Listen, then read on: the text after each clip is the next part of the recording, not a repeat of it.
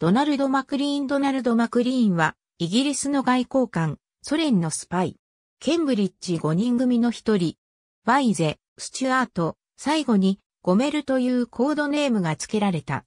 また、ソ連時代は、マルク・フレーゼルと呼ばれ、エス・マドゾエフスキーのペンネームも用いている。ロンドンに生まれる。父親のサードナルド・マクリーンは自由党所属の政治家であり、1923年から1926年には自由党党首、1931年から1932年には文部大臣を務めた人物である。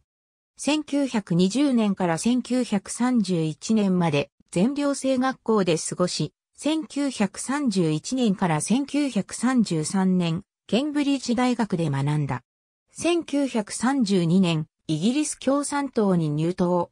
1933年から1934年、ロンドン大学で学んだ。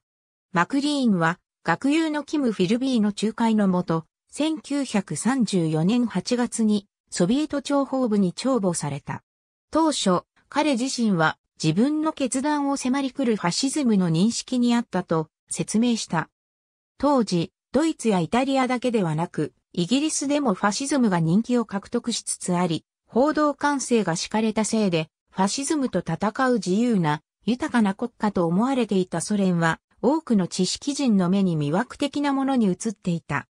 大学卒業後、マクリーンはキリスト教師の研究に従事し、イギリスの共産主義運動のために働こうと思っていたが、ソ連当局は彼の出世の可能性を見抜き、彼に共産党を脱党し、イギリス外務省に入ることを勧告した。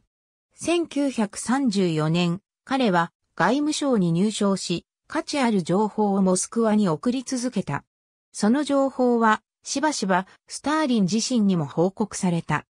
1938年、中パリ英大使館書記官に任命され、米仏外交官から情報を入手する機会を得た。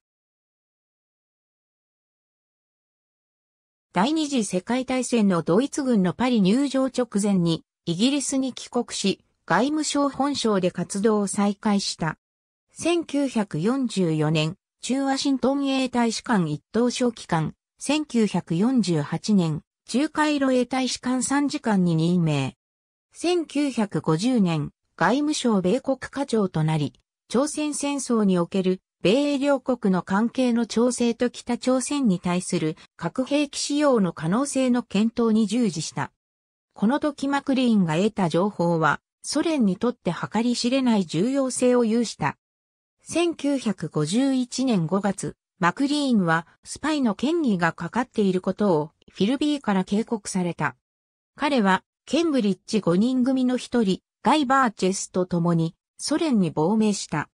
当時のソ連国家保安省、セミオン・イグナチェフは安全上の理由からマクリーンとバージェスを当時外国人の立ち入りが禁止されたクイブイシェフ氏に事実上幽閉した。名前はマルク・フレーゼルと改名された。スターリンの死後、1955年夏、フレーゼルはモスクワへの転居が許可され、良好なアパートと小さなダーチャが提供された。また、戦闘赤旗勲章が授与され、外務省の半機関士である国際生活の顧問ともなった。ソ連共産党への入党も許された。